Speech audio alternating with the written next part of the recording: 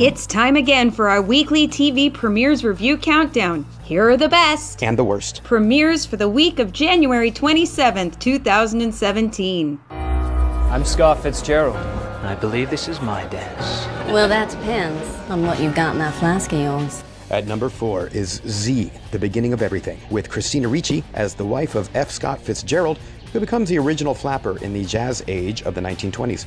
Critics feel that Z, The Beginning of Everything presents an entertaining look at the life of Zelda Fitzgerald that's full of grandeur, splash, and old timey wit.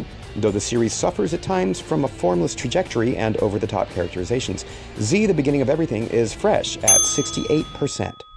I understand why you're afraid. I have plans. Number three is season two of The Magicians, Syfy's drama about students at a school for witches in New York City. Critics think a clearer sense of purpose and extra helpings of cynicism and danger lead the Magicians to a higher level of engagement. The Magicians is fresh at 86%.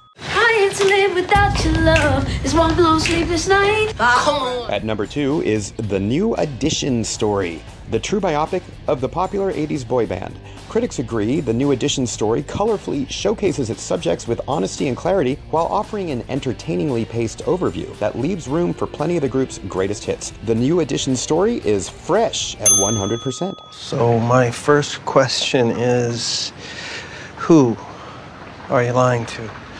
Number one is Riverdale, the CW's edgy new take on the Archie comics. Critics feel that Riverdale offers an amusingly self aware reimagining of its classic source material that proves eerie, odd, daring, and above all, addictive. Riverdale is certified fresh at 88%. Stay up to date with all the winter TV scores And more. at RottenTomatoes.com.